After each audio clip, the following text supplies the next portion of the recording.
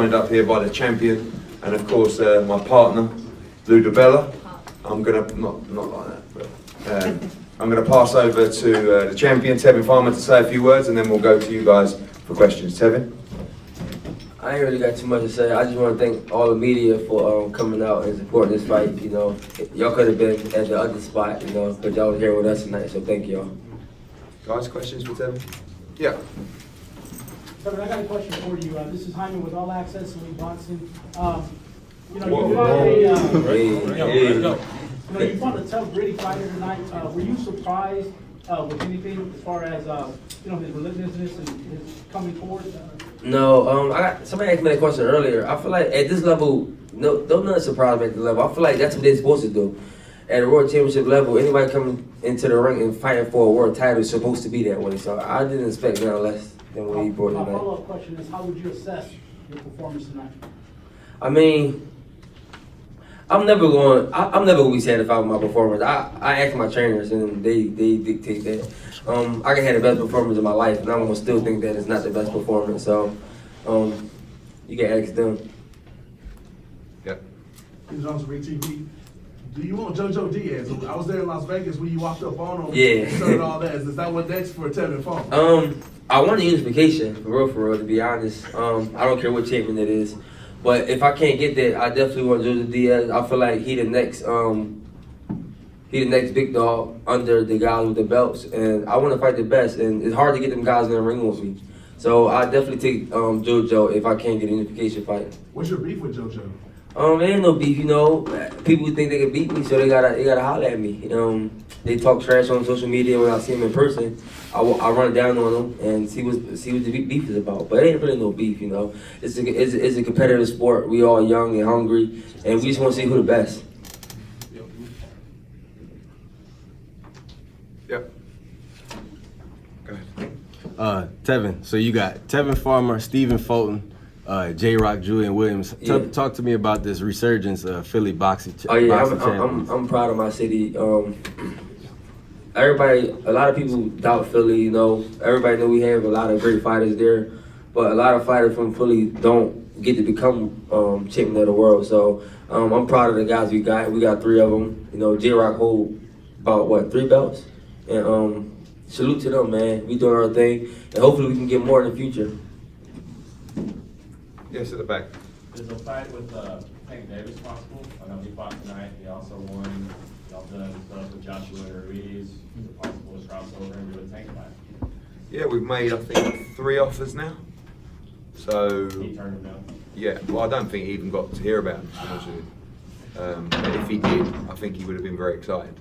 And these are legitimate offers that you guys put on the table. No, they're just pre- pretend ones I made up.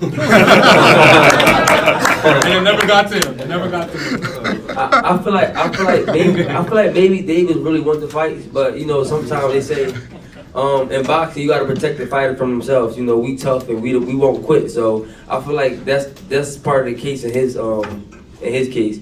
He might want to fight, but his handlers know that he's not ready for it, and they're not gonna make it happen until they think that um, maybe I get old or something. But I'm still young. I'm young as hell. I started boxing at 19, and I'm not really taking punishment.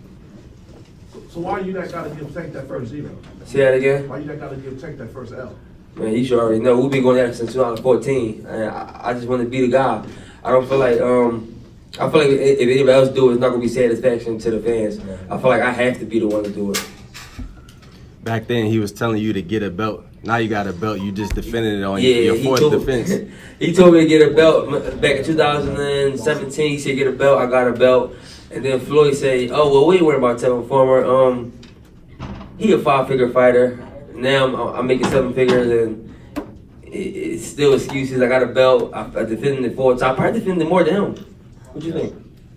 Yeah. Damn, yeah, I think I did. I think I, I think I think I did. You know, and um, they keep saying, and you know, fans are biased too. They say um, Tevin Farmer not fighting nobody, but then if you fight once a year and you fighting top dogs, they're gonna say you're inactive. Then you fight more than um, you fight three times or four times a year, but you fight whoever step up to the plate. Then they say you're cherry picking. So, um, You've defended it four times in nine months.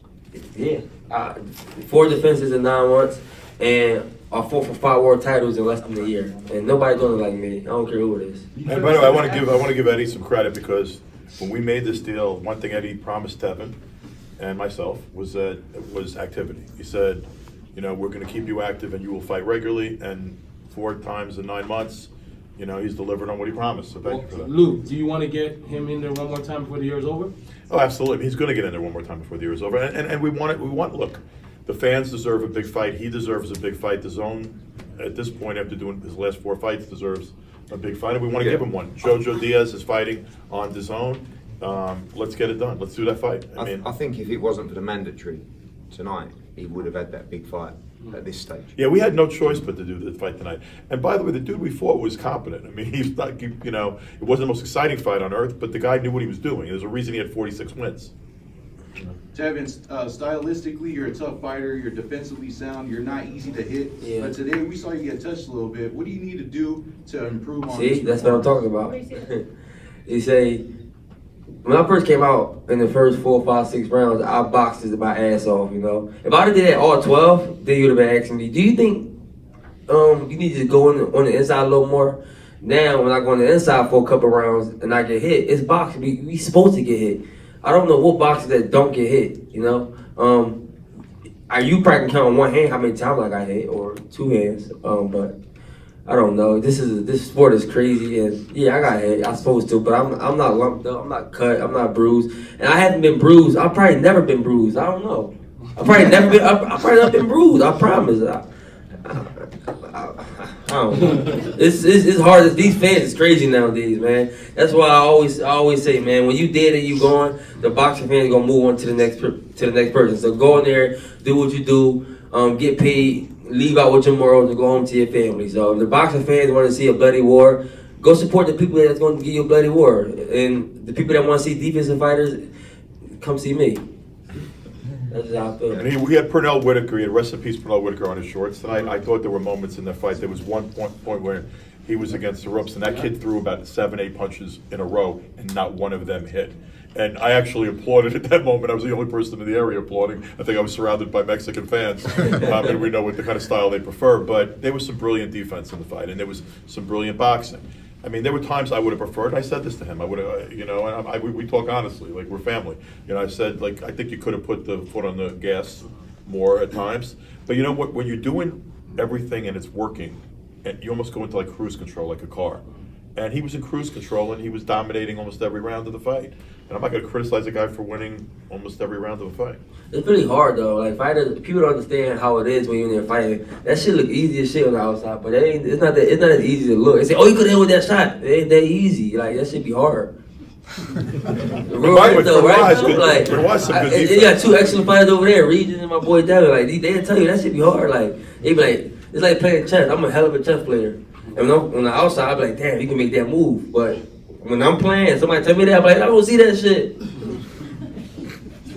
Uh, Tabby, Yes. you won most of the rounds. The fifth round being the lone exception, you lost out on all three cards. Was that just a round off because you, you seem to not use your legs as much and, and you kind of stood in there? Honestly, I don't even remember what the fifth round was. I, I don't know how. To, I gotta go watch the fight. I don't know. Eddie, how, how realistic is a Golden Boy versus Matchroom card? Maybe with uh, Canelo versus Andre, and then Tevin Farmer versus Well, Jojo we, we want the Andre fight. I mean, I feel bad for Andre that Canelo doesn't want to seem to fight him, and maybe Golovkin as well. But he's just got to keep winning.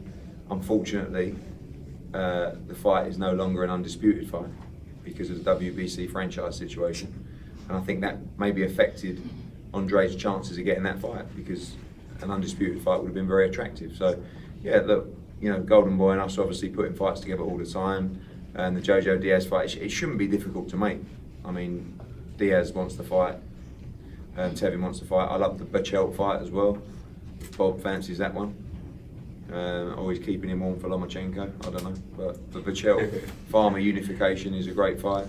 Um, so is the Tank Davis fight, but but certainly, I s- I say, Well, worst- give us What about Berchelt. my Marine? Who? What about my, my Mar- Marine who's the WBO? Yeah, Harry. We'll have him as That'd be great. Yeah. That'd be a great fight. Green. Let's Yeah, do we'll it. do that as well. He's got a mandatory first. He's fighting a Roach, yeah. And- When? Uh, set, October. November 9th. Yeah. November for- Oh no, we we too active. We can't wait for that. I'll be back in the ring by November. Eddie, how much does it bother you that that WBC franchise, that make believe belt, is messing with your business?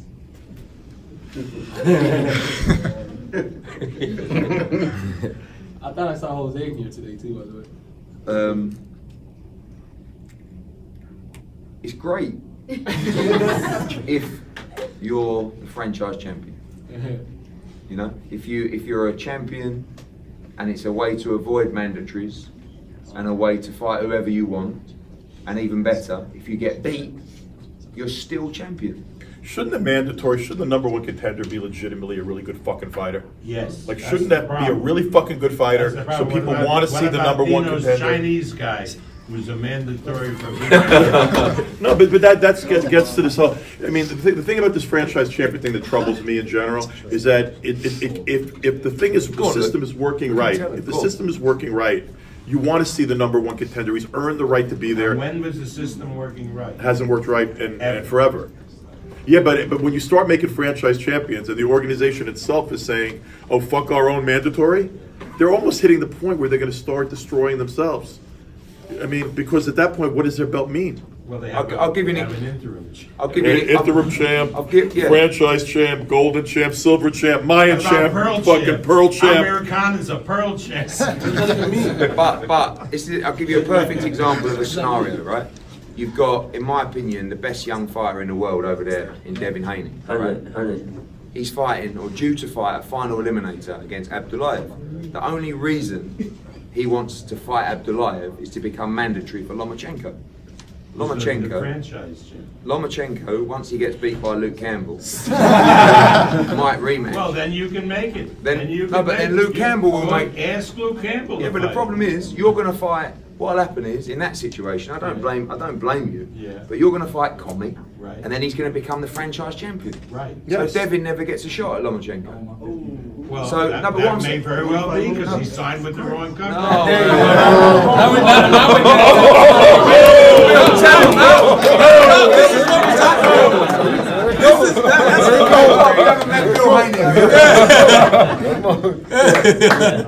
But in all seriousness, it makes you not want to fight a final. Why should Devin Haney fight a final eliminator? He's not. He you know, shouldn't. that's what I'm saying. I know, but It's the first time me and you have agreed for So, weeks. so don't bill it as a final eliminator. Well, no, no, we're not going to bill it as anything. Take it. But, but- but here's another weird thing that's about to happen. They're not going to recognize the BC regular belt as a unification because the franchise. Otherwise he's won, yeah. Right, because He's not the real champion. He's not the real, he's the real Charlo. champion. We could talk about this all These are day. things that go on behind the scenes, y'all. Yeah. Tevin just wants a burger. Ladies and gentlemen, Tevin Farmer.